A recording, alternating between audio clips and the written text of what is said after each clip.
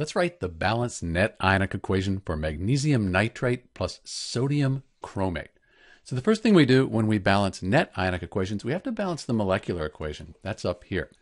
To do that, I see that I have two of these nitrate ions here, but only one over here. Put a 2 in front of the sodium nitrate. That balances the nitrates. I have two sodiums, two sodiums.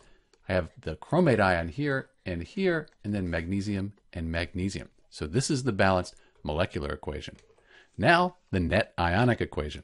We need to write the state for each substance, and that'll look like this. When we look at the states here, they're all aqueous. That means that this is going to all dissolve. Each one of these will dissolve and split apart into its ions. If we wrote those out, that would give us the complete ionic equation. It would look like this.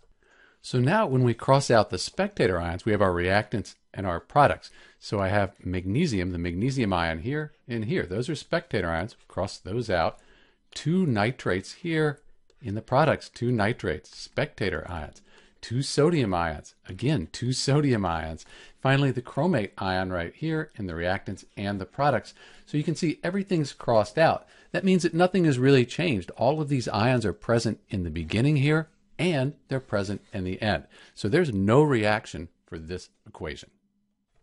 And here's the problem. Sometimes teachers will say that MgCrO4 is not aqueous, but rather it's insoluble or only slightly soluble, so they call it a solid. And that changes things a lot. Now we do have a reaction because we have a solid that's going to be a precipitate and fall to the bottom of the test tube. In that case, here's what we do.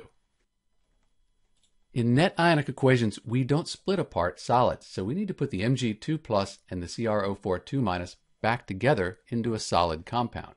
Now we can cross our spectator ions out like this, and we're left with the net ionic equation. So I'll clean this up and write the states, and we'll take a look at that.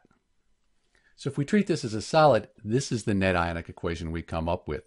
From what I can tell, this should be aqueous, but if your teacher says it's a solid, this is what you want to go with. This is Dr. B with the balanced net ionic equation for MgNO32 plus Na2CrO4. Thanks for watching.